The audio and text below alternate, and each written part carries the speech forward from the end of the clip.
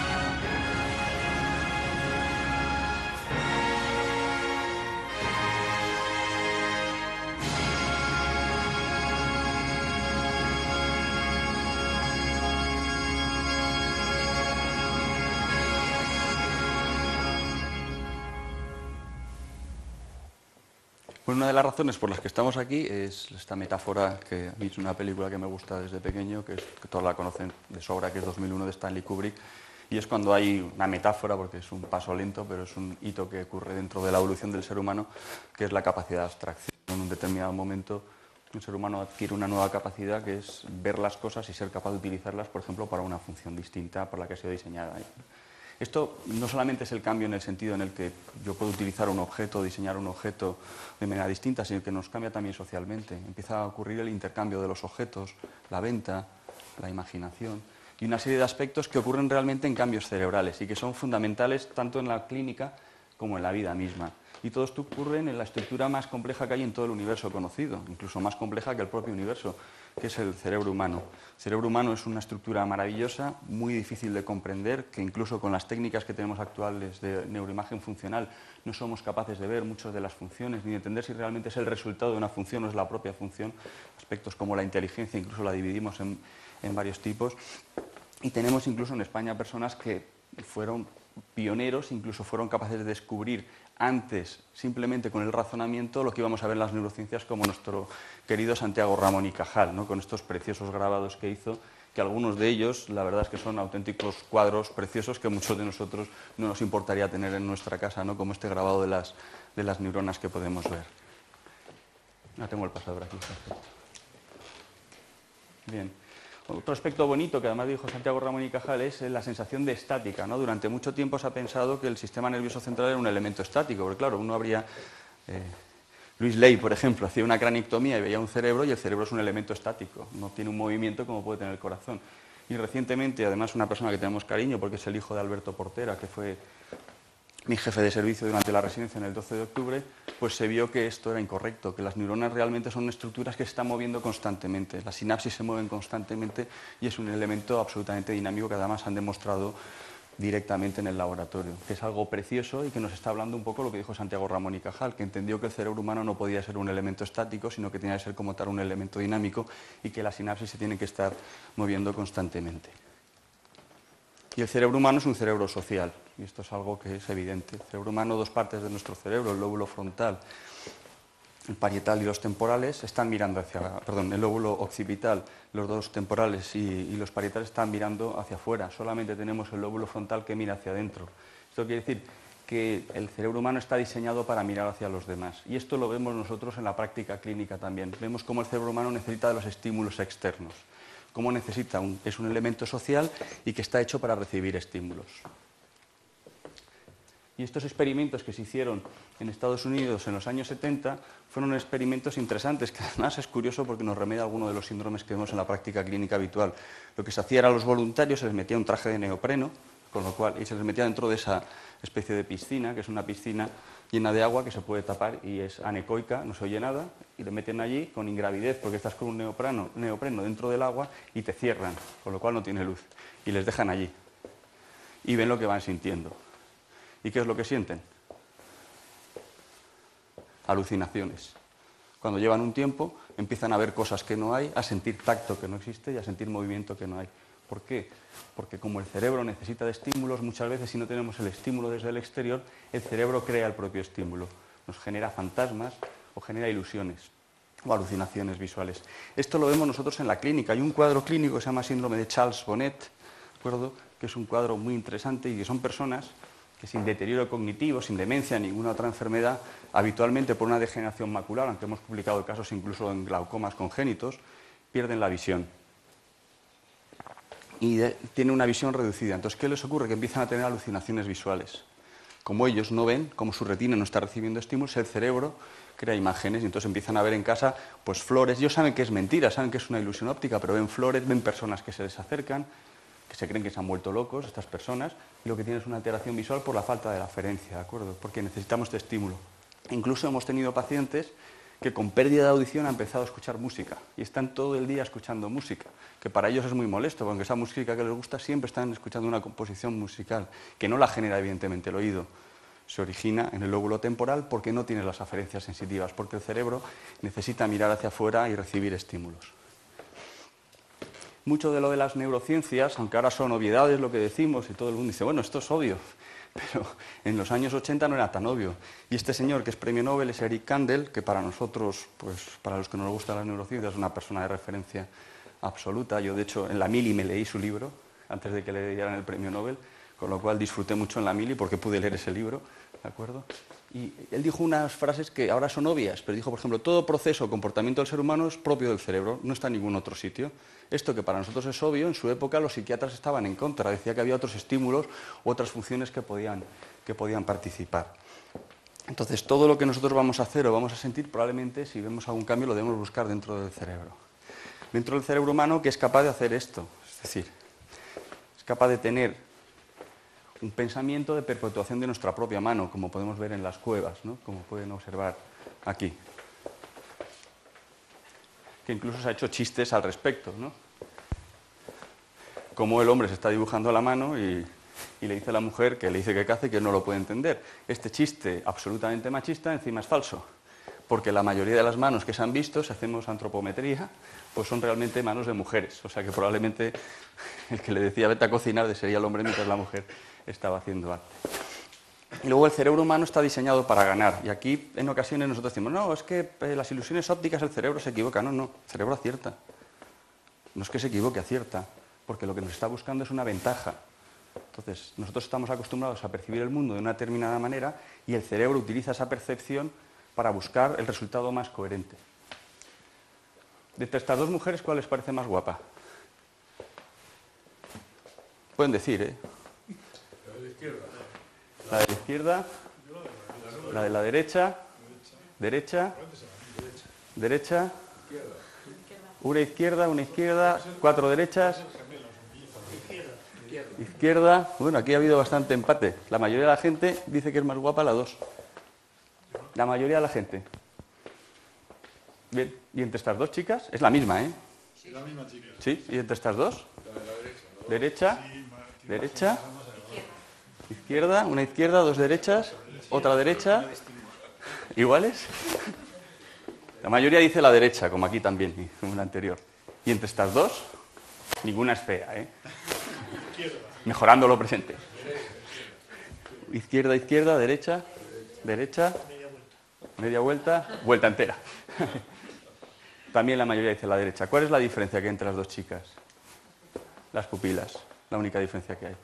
La de la derecha tiene las pupilas midriáticas, mientras la de la izquierda tiene las pupilas mióticas. Es la única diferencia que hay. Es exactamente la misma foto y parecen distintas.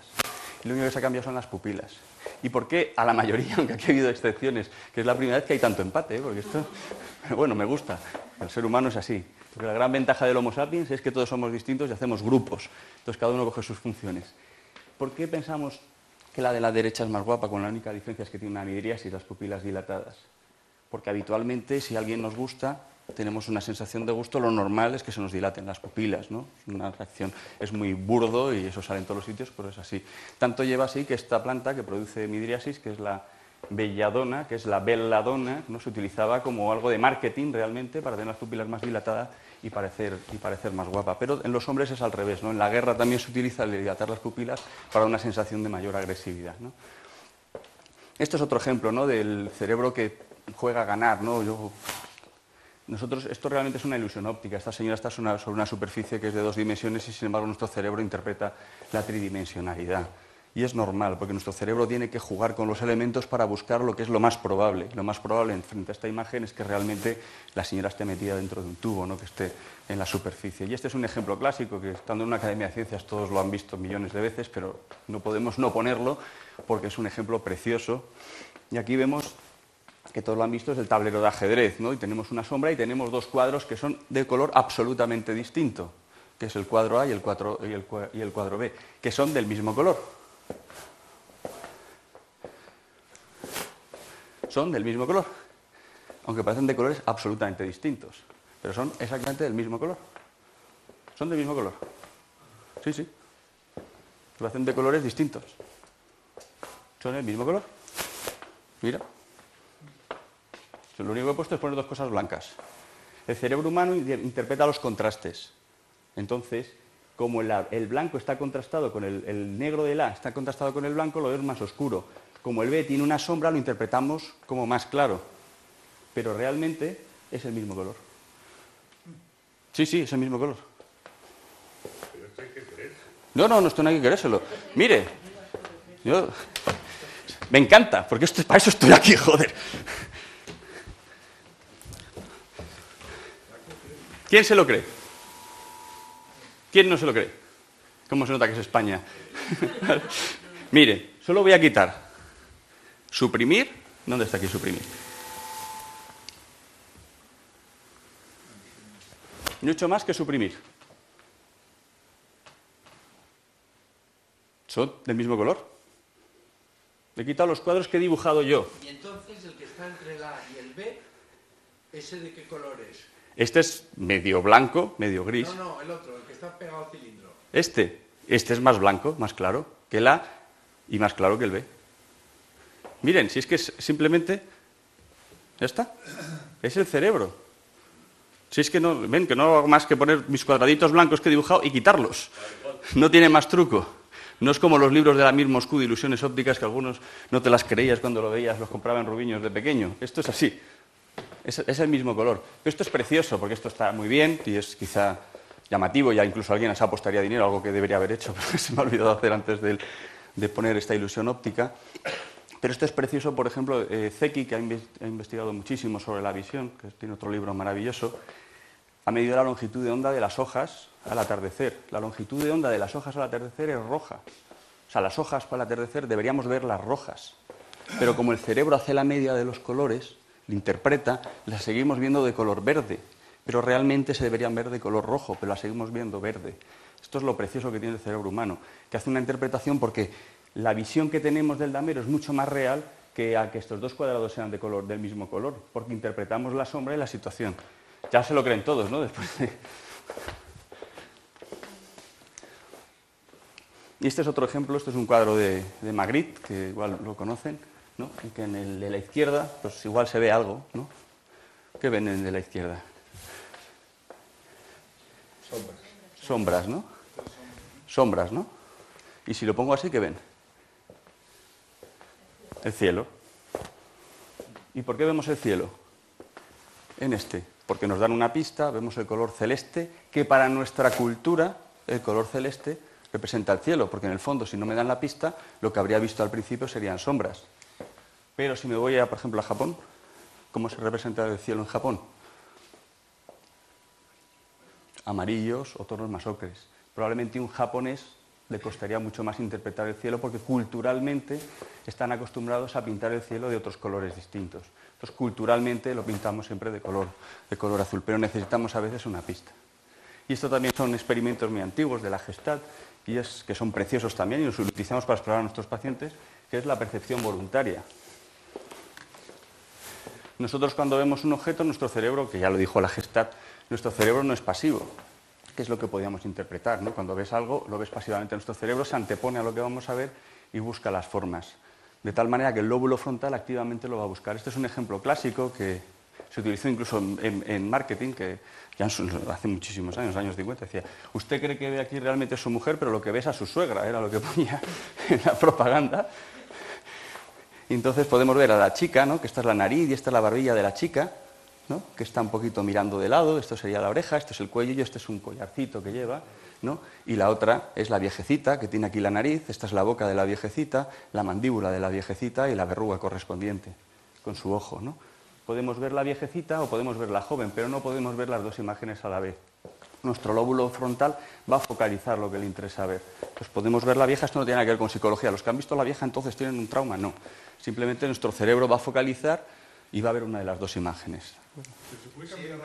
Se puede cambiar. Una vez que se ha visto, hay gente que no lo ve, pero una vez que lo ha visto es capaz de cambiar a una a la otra pero no puedes ver las dos. Hay una preciosa, que no la he puesto aquí, porque aquí podemos de estas ilusiones ópticas, podríamos tirarnos dos días enteros viendo ilusiones preciosas, que igual han visto que es un jarrón que le regalaron a los reyes de Inglaterra. Esa es preciosa, que se ve el jarrón y se ven los dos perfiles del, del rey y de la reina de Inglaterra a los lados. Entonces puedes enfocar los perfiles o puedes enfocar el jarrón, pero no puedes ver todo a la vez.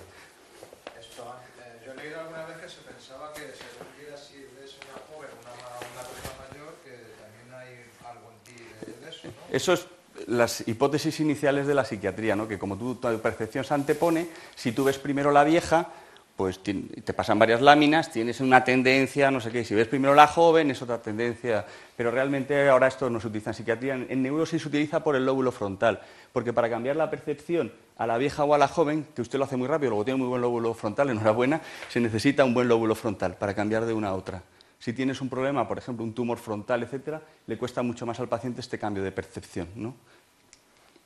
Este es otro ejemplo distinto. ¿no? Lo que vemos aquí es una imagen de una señora que está sujetando una especie de cúpula. ¿no? Pero vemos una cadavera. La cadavera no está en ningún lado, pero nuestro cerebro tiene una serie de imágenes aprendidas y cuando las figuras que estamos viendo se parecen a las imágenes, no puede más que ver esa imagen. El ejemplo que ahora lo hemos tenido todos, cuando nos tumbamos a ver las nubes y digo, yo eso ya lo tengo que volver a hacer, porque hace muchísimos años que no, ahora que tengo un niño de 5 y otro de 2, algún día lo haré. Y vemos figuras en las nubes, ¿no? Nuestro cerebro no puede evitar ver imágenes que tenemos dentro de un engrama cerebral de lo que corresponde a lo normal, ¿no? O en estas otras figuras o en otros ejemplos, ¿no? Sobre todo lo que más se suelen ver son caras, algún elemento genital también, pero sobre todo caras, ¿no?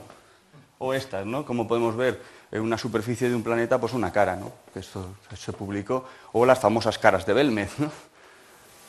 Que las tienen aquí representadas, que saben si eran humedades de las paredes realmente, que se parecían a las caras y tú lo percibías como tal, o un timo para sacar dinero a la gente, ¿no? El paranormal yo no me lo planteo nunca. Y luego otro aspecto importante es cómo nos enfrentamos nosotros a situaciones del marketing. ¿no? El marketing es algo que está muy de moda, a mí me gusta más la palabra mercadotecnia, pero como no se utiliza habitualmente, pues he utilizado el anglicismo, el marketing pues es algo que está en nuestra vida. Entonces, el marketing debe estar en el cerebro. Entonces, han hecho estudios que demuestran pues, realmente que el marketing, como todos eh, nos imaginábamos, pues funciona. Y el claro ejemplo es esto, ¿no? el ejemplo que cuentan todos los de mercadotecnia, todos los de marketing, es lo que se llama el paradigma de la Coca-Cola. Y es que en Estados Unidos se vende muchísima más Coca-Cola que Pepsi-Cola. Y esto es un ejemplo. El logo de la Coca-Cola ha permanecido fiel durante todos los años y el de la Pepsi-Cola ha intentado evolucionar de distintas maneras porque realmente tenía menos ventas. Pero lo que era llamativo no es esto, sino que cuando hacían catas, catas ciegas de Coca-Cola, prefiero las de vino, pero bueno, de Coca-Cola y Pepsi-Cola, la mayoría de la gente le gustaba más la Pepsi-Cola. Sin embargo, había más consumo de Coca-Cola. Sin embargo, la cata ciega a las personas les gustaba más, más la Pepsi. Y fue un paradigma que se habla en mercadotecnia de cómo el marketing puede ser interesante a la hora de vender un, un producto. Entonces hicieron un estudio que es muy interesante y lo hicieron con el vino y utilizaron sommeliers. Entonces cogieron vinos y les dijeron que tenían un determinado precio.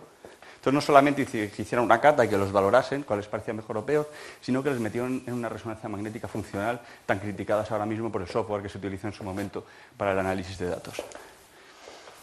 Entonces, ¿qué vieron? Que realmente, si tú asumes que tiene un precio más alto un vino, se te va a activar más el accumbens y las zonas realmente que implican que te gusta más. Aunque sea un vino de 6 euros y te dicen que vale 50, pues se te va a activar más las zonas. Es decir, que realmente, podemos decir, la predisposición te puede hacer que te guste realmente más y no solamente lo digas porque sabe que tienes un precio más alto. ¿De acuerdo? De hecho, también si se fijan las curvas van en relación con el precio del vino. Es decir, con vinos más caros pues tendremos curvas mayores. Como vemos aquí, lo ven, ¿no? La diferencia entre ellas. Más caro, más diferencia entre las curvas. 5,45 o 10 frente a 90. Ven que la diferencia entre las curvas es mayor. Cuanto más me dicen que cuesta, realmente se me activan más las áreas y yo realmente siento que me gusta más. Esto es muy criticable, pero es lo que se vio en los resultados de los estudios, ¿de acuerdo? Y luego existen conceptos transculturales, ¿no? porque hay cosas que son, por ejemplo, algo que pues la mayoría de nosotros nos gusta es Ekman, ¿no? antes de que se dedicara a hacer series de televisión y, a escribir libros de divulgación general o a analizar a la gente antes de que se case, pues Ekman demostró que, las, que los gestos, realmente las emociones primarias eran transculturales. ¿no? Entonces cogió Ekman unas fotografías de gestos de personas de Inglaterra y se fue a, Papúa Nueva Guinea y les enseñó las fotos y todos decían, este está triste, este está alegre, este está contento. Esto es muy bonito porque Ekman decía lo contrario. Su hipótesis inicial era que, las emociones eran transculturales, que de Darwin ya venía que las, incluso los monos vio que decía que no, que, que, cada cultura tiene una emoción distinta. Y cuando él va viajando por el mundo se da cuenta que se ha equivocado y cambia el planteamiento. Y dice, pues es verdad, las emociones son transculturales. Solo le falló en otro experimento distinto una cultura, que era el experimento frente a la reacción a estímulos. ¿Quién creen que falló? Ponían películas y veían cómo reaccionaba la gente. Entonces los japoneses fallaron, pues les ponían películas muy desagradables y seguían quietos sonriendo. Entonces, ¿qué hizo? Los puso de solos, sin nadie más, y puso una cámara que les grababa. Y cuando estaban solos reaccionaban como el resto. ¿Cuál es la explicación? es transcultural, pero la cultura te puede hacer que reacciones de manera distinta. Entonces, ¿qué pasaba? Que los japoneses no está bien que demuestren en público sus emociones, con lo cual veían ahí unas películas horribles y seguían manteniendo la sonrisa. O sea, que la cultura sí que te puede hacer que modifiques la expresión pública de tus emociones. Pero esto es tan interesante como... A ver, Buba y Kiki. ¿Quién es Buba y quién es Kiki? ¿Quién es Kiki de estas dos? La izquierda y Buba, la derecha. ¿No hay un vídeo además de esto? Que a mí me encanta. Nosotros, nadie se plantea que sea Kiki la de la derecha y Buba la de la izquierda. La mayoría pensamos que es Kiki la de la izquierda y Buba la de la derecha. Nosotros distinguimos las formas y les, damos damos, les atribuimos aspectos a las formas. ¿no? Por ejemplo, los buenos son más redondos, ¿no? los malos son más angulosos, que no es que es algo que tenemos y que lo vemos así. Entonces se utiliza en el cine o se utiliza en el arte, ¿no? limbo, o el limbo crucífero, es redondo, ¿no? representa la bondad. El tetramorfos ¿no? que tenemos aquí con el pantocrato, ¿no? también es redondo. ¿no? Los círculos que ponemos y el limbo crucífero, aunque tiene la cruz, también es redondo. Maravilloso San Isidoro de León, ¿no? una de las joyas del románico, de las tres yo creo, más bonitas que tenemos en España, pues también se representa en círculos. O los querubines son redonditos, o los smileys son redonditos, o el logo de la Sociedad Española de Neurología que ha llegado tarde a la charla, también es redondito, o nuestra neuronita redondita, o Mickey Mouse, son tres redonditos, ¿no? El ejemplo de la bondad y tal, que a mí me gusta más el pato, la verdad. O el símbolo de BMW, o el símbolo de todas estas empresas. Hasta el Atlético de Madrid ha cambiado su símbolo y lo ha hecho más redondo, no sé si... Lo ha hecho más redondito, porque era mucho más anguloso y ha puesto el... mucho más redondito, ¿no? mientras que la maldad se representa como más especulada, ¿no? mucho más especulada. Como podemos ver en el Guernica. Y otro aspecto también que tenemos es lo que representa el lado de la cara, que, que también es algo cultural, pero que tenemos desde, desde pequeños, que de manera espontánea lo hacen los pintores. El lado de la cara que exponemos, por ejemplo, a la hora de pintar. ¿no? La mayoría de las mujeres van a exponer su lado izquierdo. Y los niños. Mientras, y Cristo también en la cruz, la mayoría de las veces se representa así, hacia el lado izquierdo, que representa tranquilidad, bondad. Mientras que a los hombres, la mayoría de las veces, se representa del lado derecho. Cuando era niño era el izquierdo, cuando es más mayor se representa el lado derecho. Y algunos de la zona central, pero fíjense la diferencia. Esto se ha estudiado y se ha visto que sí, que la mayoría de los hombres se les pone representando el lado derecho, aunque algunos también el izquierdo.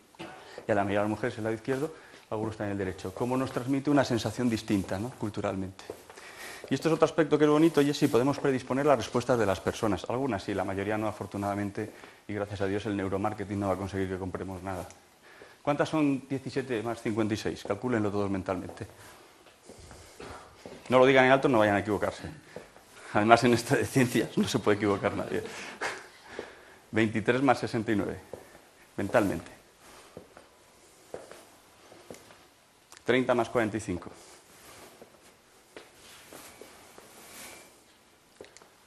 17 más 24. Piensen en una herramienta y color, herramienta y color, una herramienta y un color, una herramienta y un color, una herramienta y un color, una herramienta y un color, una herramienta y un color. Esto es algo precioso también, y es que esto el 80% dice martillo rojo. Luego hay gente que piensa verde y otras cosas, pero la mayoría es el 80% es martillo rojo. Esto es bonito también desde el punto de vista de la neuro. Y es que nuestro cerebro, cuando tenemos una serie de categorías de objetos, hay uno que es como el el que representa a todos los demás. El color casi siempre es el rojo, por ejemplo es el martillo. ¿no? Probablemente si pensásemos en un coche, pues la mayoría dirían, a lo mejor coincidirían espontáneamente en el mismo vehículo. Tenemos un elemento que es como el que marca al resto. Y esto es bonito porque en algunos estudios se ha visto que los pacientes cuando tienen trastornos del lenguaje y hacen una cosa que llamamos parafasias, parafasias semánticas, con mucha frecuencia, la parafasia semántica, que suele ser el cambio de una palabra por otra del mismo grupo, suele coincidir con el objeto que es el que delimita todo el grupo. Es decir, va a decir sierra y dice martillo, porque es el que tiene un acceso más fácil dentro de su cerebro. Y otro aspecto precioso que tenemos del cerebro humano es la vista que también nos puede ayudar a modular, a predisponer lo que vamos a hacer. Decía Charcot, que es otro de los padres de la neuro, que el, neurólogo es vista y el ser humano realmente es vista. La vista para nosotros es fundamental, prácticamente es un tercio del cerebro se dedica a la visión. Todos ya saben que no vemos los objetos en completo, sería muy poco funcional que nosotros cuando vemos un micrófono, nuestro cerebro guardase lo que es el engrama de este micrófono. Realmente lo que guardamos son cinco aspectos distintos del micrófono que se hacen conscientes de manera independiente. El color, la forma, la profundidad, el movimiento se hacen conscientes de manera independiente y luego el cerebro crea la imagen del micrófono. Pero claro, si tuviéramos que guardar todos los objetos que vemos en todas las perspectivas, ¿no? porque esto también es un micrófono, aunque se parezca a un micrófono como yo Brad Pitt, absolutamente nada, ¿no? pero es un micrófono también. Tendríamos que tener un cerebro brutalmente grande. Entonces lo que hacemos es guardamos parte de ellos y se hace la reconstrucción del, del objeto. Entonces la vista es fundamental en el ser humano y la vista puede modular la respuesta. ¿Y cómo la modula? Este es otro estudio precioso. Y es otro estudio hecho con vino. Entonces, analizaron en las catas de vino, cuando era vino tinto, vino blanco, ¿a qué se hacía referencia? Entonces llamó la atención que cuando era un vino tinto, pues casi siempre es pues, chocolate, pizarra, eh, regaliz, frutas del bosque, elementos que son, hasta cuero en ocasiones, que son oscuros.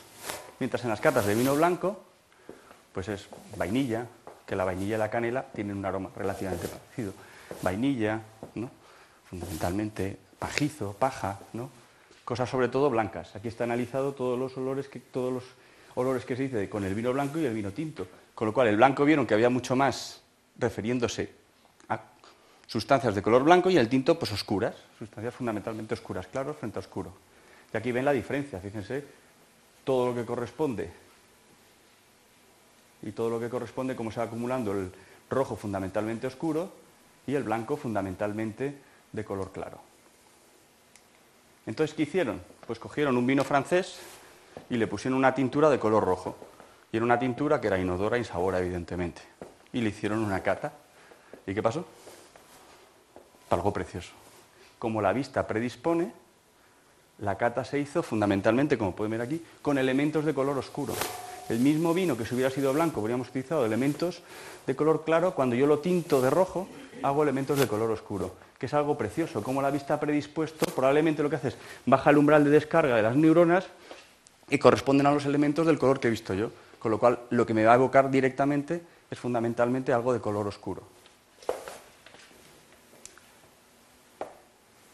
Otro aspecto es desde dónde viene la luz, ¿no? Eso también se ha estudiado en los, en los cuadros, ¿no? ¿De dónde proviene, la luz, fundamentalmente? Y la luz proviene fundamentalmente en los cuadros del lado derecho. Pero tanto para pintores diestros como zurdos, la mayoría van a poner la luz en los cuadros del lado derecho, que es otro elemento que tenemos dentro del cerebro. ¿no? Pintores zurdos o diestros, dicen, no, viene de la derecha porque los primeros son, son diestros. También los zurdos hacen que la luz venga al cuadro desde el lado derecho. Pero si nosotros cerramos los ojos y nos imaginamos una oficina con una ventana, la mayoría de nosotros veremos que la luz de la ventana nos va a venir desde el lado derecho. Y otro aspecto precioso del cerebro, pues son como algunos sentidos, como es el sentido del olfato, que yo creo que el claro ejemplo es la Magdalena Cruz, nos puede llevar pues, a tener experiencias previas. Yo, a mí me pasa con, cuando yo era pequeña había unas tiendas de estas que vendían golosinas, no como las de ahora, que además vendían una cosa que era una estupidez, pero a mí era lo más bonito del mundo, que era una hoja así, que la rayabas con un lapicero y salía un dibujo debajo de la hoja, que ahora mismo se lo das a un niño y con el iPad se ríe de ti. Pero bueno, yo cuando huelo el olor, un olor determinado me recuerda a mi infancia. Es una cosa curiosa, porque sabemos que el olfato está muy relacionado con este tipo de síntomas, pero el olfato también nos puede modular. Y el olfato, dependiendo de lo que veamos, aparte de hacernos recuerdos, vamos a percibir en sitios distintos. Por ejemplo, los olores que nos gustan, si yo me imagino un olor bueno, ¿no? por ejemplo, de una colonia, fundamentalmente se va a activar el, hemisferio izquierdo, mientras que si yo pienso algo desagradable, el hemisferio derecho. Pero es muy bonito porque las áreas que se activan son las mismas que se activan si yo huelo esa sustancia. Es decir, el recuerdo evocado de la sustancia me va a activar la misma, el mismo área que si yo lo huelo lo cual es precioso ¿no? en esta evocación. Y lo cual a mí me recuerda, me justifica muchas de las cosas que nos pasan a todos durante la vida y que asumes que son neurológicas, pero que es difícil la exploración, eh, justificar porque ocurren. Una de ellas es el busca. Nosotros teníamos, tenemos busca cuando estamos de guardia. Gracias a Dios, no hago guardias o hago muy pocas. Pero había una época en mi vida que hacía seis guardias. Oía el busca y no sonaba. Yo oía el busca, pi, pi, pi, pi, lo miraba y no había sonado. Porque tengo el umbral de descarga tan bajo que descarga automáticamente. Y yo oigo el busca, porque ha descargado la neurona, pero porque tengo el umbral de alarma. Las madres, ¿cuántas madres tienen un niño y dicen, el niño está llorando, van y el niño no llora, el hombre está durmiendo, evidentemente. Pero bueno, el niño está llorando, van y el niño no ha llorado. Tiene el umbral tan bajo que oyen el llanto del niño aunque no ha llorado. Pero lo oyen de verdad y el niño ha llorado. ¿O cuántos de nosotros que ahora utilizamos estos aparatos, los móviles, los tenemos en el bolsillo con vibración y notamos que el móvil ha vibrado, lo sacas y el móvil no ha vibrado. Y tú has notado la vibración del móvil especialmente cuando estás pendiente de una llamada. Notas la vibración del móvil, el móvil no ha vibrado, porque tenemos el umbral tan bajo, como en este ejemplo, y descarga. Y también los olores pues, se utilizan en el marketing. ¿no?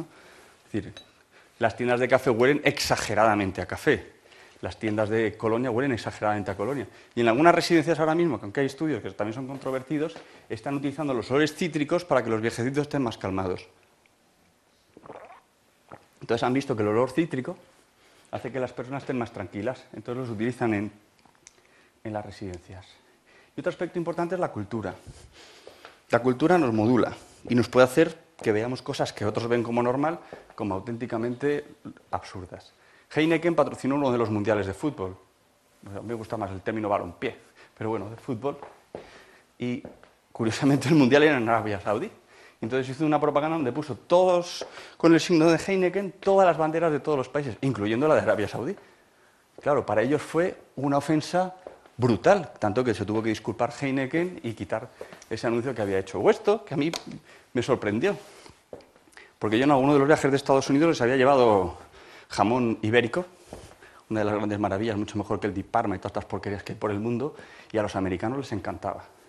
Y una vez uno de ellos vino a España. Y entonces entró en la cocina, que era la casa de mis padres, y vio un jamón puesto allí. Y dijo, ¿y esto que tienen aquí qué es? Como sorprendido, ¿no? Dice, como una locura, que hace aquí una pata de un animal en una casa. Y dijo, no, este es el jamón que te has comido tú. Y se llevó una sorpresa diciendo, esto es algo horrible, ¿no? Que no están acostumbrados a ver las patas de los animales, con lo cual te ven una pata en una casa y para ellos es algo horrible. Mientras que para, ya estamos acostumbrando, evidentemente. Mientras que para nosotros es algo muy cotidiano, ¿no? Lo mismo que cuando viajas al sudeste asiático y ves todos esos insectos que se comen, pues te parece algo asqueroso y para ellos es lo más normal.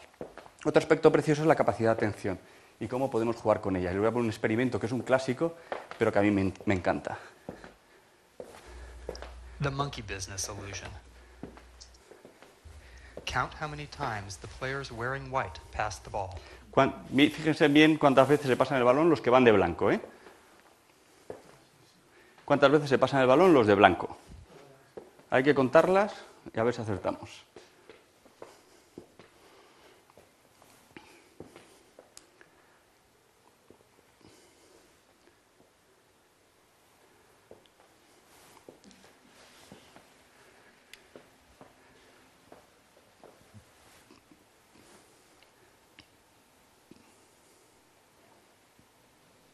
The correct answer is 16 ¿Cuántos han acertado? Did you 16. spot the gorilla? Bien, ¿y cuántos han visto el gorila? ¿Y quiénes no han visto el gorila? No pasa nada, yo no lo vi la primera vez que me lo pusieron, ¿eh? Eso es bueno, porque tengo una gran capacidad de focalizar la atención. No lo han visto. Suele ser así, 50-50 más o menos. Esto lo- me lo pusieron por primera vez en un curso de, de neuro- de neurociencias, de neurooftalmología, eh, perdón, de neurología, de neurooftalmología. Y es un, un ejemplo precioso. Pero este es más bonito todavía que el que me pusieron. Porque, ¿cuántos habían visto el mono? Muy bien. ¿Ya, ya han visto que ha cambiado el color de la cortina? ¿No? ¿No? ¿Ya han visto que desaparece una jugadora? Sí. Pues vamos a verlo todo.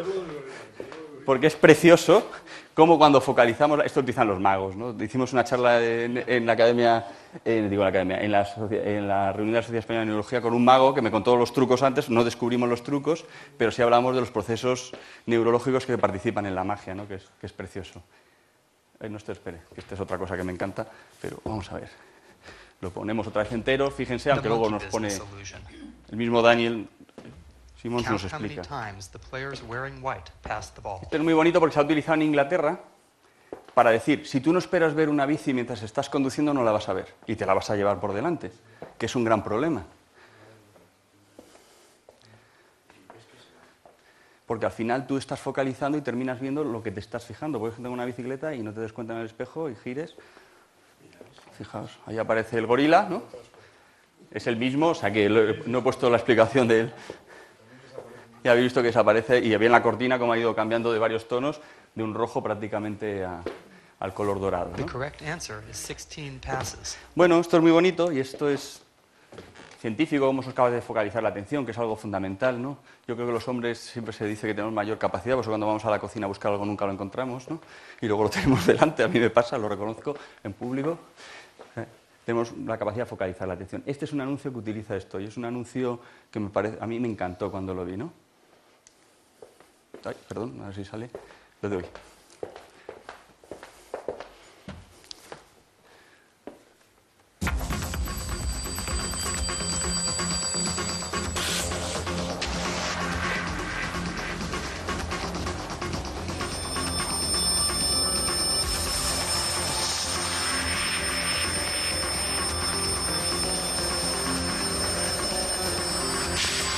¿Han visto el leopardo con la mujer? A la derecha había un leopardo con una mujer. Nos fijamos en el coche, esto tiene truco, como todo. Volkswagen. Lo primero es que nuestra retina periférica ver fundamentalmente el movimiento, mientras la retina central va a enfocar. La mujer nos la pone en un movimiento frontal, con lo cual prácticamente el movimiento es mínimo que está produciendo. Está en claroscuros y el objeto fundamental que se mueve muchísimo más es el, el Volkswagen, ¿no? que se ve que es antiguo porque Volkswagen ha cambiado, todos buscan formas redondas y ahora los utilizan los faros y todo más cuadraditos, o sea que va en contra de lo que dijimos antes. Y un aspecto precioso de las neurociencias y del ser humano es la capacidad empática que se ha estudiado muchísimo últimamente, ¿no? que ha habido muchísimos experimentos, aunque los primeros experimentos son de hace, de hace años, y que es precioso como cuando tú ves a una persona delante de ti y que tiene un sentimiento, a ti se te activan las mismas áreas que se le activan a la otra persona. Si la ves llorando, te activa las- pues, la tristeza. Las resonancias magnéticas podrían ser no iguales, pero sí similares. Es decir, la capacidad empática de ponerse en lugar del otro hace que se te activen a ti las mismas zonas, pues se activan a la otra persona. Pero depende de muchos factores. ¿no? Y este es uno de los estudios muy antiguos, que igual, que igual lo conocen. En este estudio lo que hicieron fundamentalmente fue eh, valorar pues, si podemos matar a una persona. Entonces, fue muy interesante, pues un anuncio en el periódico para que la gente viniera y le daban dinero por participar en el estudio. Entonces llegaban allí los voluntarios y había otros que eran, los, en teoría, estaba el alumno y el que le iba a decir al técnico que diera las descargas eléctricas. Entonces, en teoría todos eran voluntarios, los alumnos y los que iban a decir que se le den las descargas o no, pero era mentira. Los que iban, eh, los que iban a dar las, los alumnos eran actores o sea, los que iban a estar, el alumno que le iban a dar la descarga, iba a recibir la descarga eran actores y los otros eran realmente los voluntarios. Lo que llegaban era, había dos papeles y en los dos ponía lo mismo. En los dos ponía que iba a ser el entrenador, el que iba a dar las descargas. Entonces cogía un papel uno y dice, ay, me toca entrenador, ay, pues entonces yo soy el alumno. Y así siempre los actores entraban. Y así el otro no pues, sospechaba, porque le había cogido un papel al azar que le tocaba bien. Lo ponían allí y estaba, no veían a la persona. Y entonces empezaban a decir, no, ¿cuántos son la raíz cuadrada de no sé qué? Pues tanto, pues mal, dale una descarga eléctrica, sube la descarga eléctrica. Pues llegaban a darle descargas eléctricas que en teoría sabían ellos que podrían matar a la otra persona. Si se metían en esto, personas normales, no son psicópatas que he cogido, que podían matarles. Cuando veían la cara, cambiaba todo.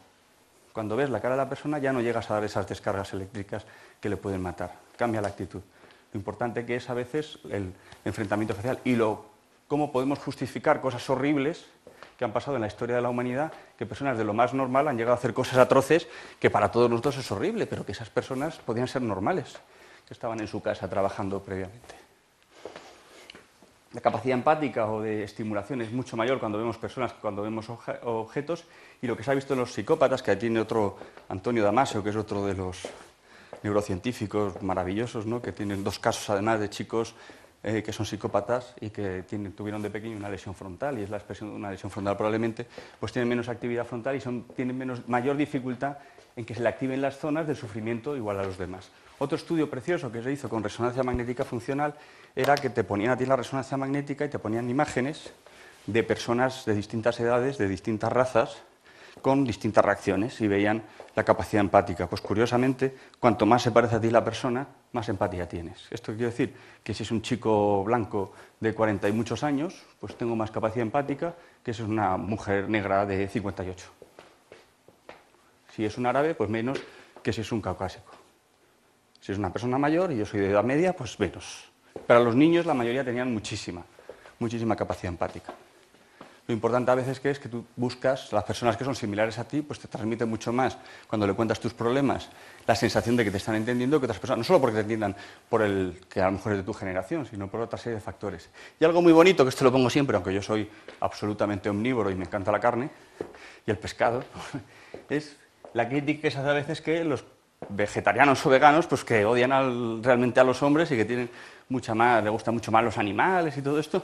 Sin embargo, cuando se les hacen imágenes de resonancia magnética funcional, cuando ven imágenes de seres humanos reaccionan más y reaccionan más que el resto, o sea que probablemente a lo mejor son más sensibles en general. ¿no?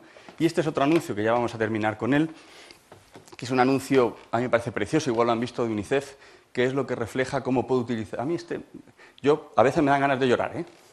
refleja realmente lo que es la, empatía. Entonces, si lo pones en gente que tiene niños de estas edades, yo este vídeo lo puse en una charla que eran sobre todo de, de, expansión, que eran empresarios, y hubo gente que se puso a llorar.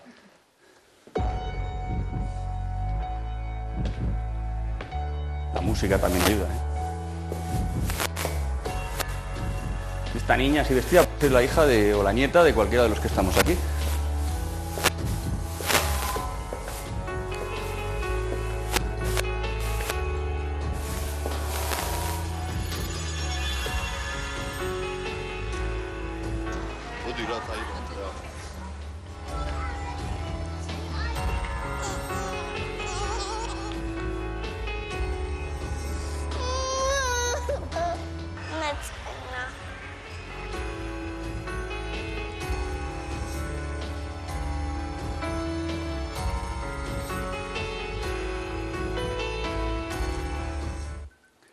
Intentar justificar por qué una niña que, estamos, que nos puede robar y tal, pero lo brillante del anuncio es cómo utiliza la capacidad empática, cómo todos entendemos que esa niña que sale allí puede ser pues, nuestra hija o nuestra nieta y cómo simplemente maquillándola rechazada por los demás. ¿no? Cómo han utilizado esa capacidad empática que no seamos capaces de poner en el lugar de la niña que va vestida mal porque se parece a la nuestra. Y muchísimas gracias a todos.